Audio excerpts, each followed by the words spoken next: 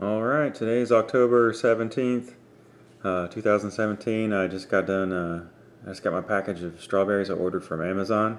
It's my first time ever just ordering crowns on the internet. And this would be the biggest big box store of the internet there is. Uh, I ordered 25 crowns. Uh, it was $17.27 with free shipping. Uh, and these are called Hirt's EV Everbearing Strawberry Plants. Never heard of them before, but figured I'd try them out. Uh, I ended up, it came in a little tiny package in the mail. They were all bundled in a bag. Uh, just just pulled them apart and gave the roots a wash. Uh, they're still, they seem like they're live plants. They're uh, obviously not covered in leaves, but that's what you get when you get something that's dormant in the mail. Uh, you can see it starting to throw out leaves, so a lot of these plants are showing signs of life. Uh, there's not 25 in here though, there's 28. So hopefully if some of them die, I'll still have 25 plants, which is honestly more than I have room for. So I'm gonna see if I have room for all these somewhere out there. Oh man, I'm excited about getting these strawberries in this bed. It's gonna be awesome. Strawberries are one of the few things my kids love as far as fresh produce go. Um, who doesn't? I'm gonna I'm gonna try to squeeze as many as I can up here in these top pipes. Uh, I'm probably gonna take out those two kale plants in the back. The lettuce is staying there until it's until it's done for at least another four weeks or so. But uh, I have left these two back spaces empty too, so I'll probably put some uh, strawberries in there. I didn't plant anything there on purpose because it's right above the drain pipe. The drain pipe comes through. But uh, they're only going to be in there temporarily until the lettuce comes out, and then I can move them over. So I'm gonna. It's probably the worst time of day to be uh, pulling those kale plants out of there, but I'm gonna go ahead and do it. I don't care.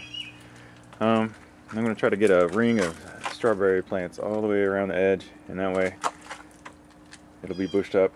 And hopefully, like half the plant will be hanging over the side, and I can like, as the strawberries start to ripen, I can guide them over the edge, and then just have strawberries dangling around the edge within reach of my kids. And someday this might turn into a big old strawberry factory up top too. Uh, as you can see, I already have two strawberry plants. I, even, I think those are Ozark Beauty or something. I paid I paid like five dollars for one strawberry plant, and luckily there's two crowns in the pot. So five dollars for two plants, or seventeen dollars for 28 plants. I think ordering crowns online is a better deal. I might have to wait a little bit longer for to get uh, fruit from it, but that's fine. And then uh, even if you just had one plant, like within say four years, that one plant would turn into a serious number of plants. But uh, if, I, if I keep them around the ring, outer ring, then I can, uh, it'd be easy to maintain them too. I can guide the runners off the edge so the bed just doesn't get overrun with strawberries. And uh, for this right here, I had this in mind all along when I was putting this bed together. Uh, I put the gravel extra deep before you hit water. Like water is probably two inches deep. That way you can keep the crowns dry. Import it for strawberries. So uh, let's get let's get planting. All right, so for the uh, the net cups I have up top, uh, I ordered these through Amazon as well. Uh, they actually come with little caps you can pop in there, and these are actually made for starting clones. Like, say you got an orchard and you want to make a million clones, so you can make your orchard bigger for free. This would be a great way to do it. You just take, cut your stem and stick it down in there and it starts, or even your strawberry starts. Um, I'm gonna basically pop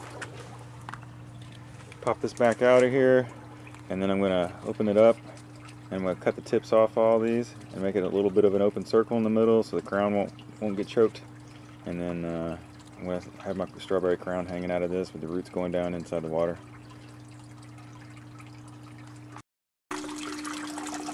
Alright, it took me a little while to get it done, but I got the strawberry plants, little crowns, all planted out. All the way around. Don't mind the yellow jackets, they're harvesting caterpillars for me. There's some more crowns through there. Got four up top. And I ended up having more than enough to come over here too. Got some there, there, there, there, there, and there. So we'll see how many of these survive. Um, hopefully I most of them should. They're showing signs of life, obviously, a lot of them. I broke off a lot of leaves and I'll separate them up.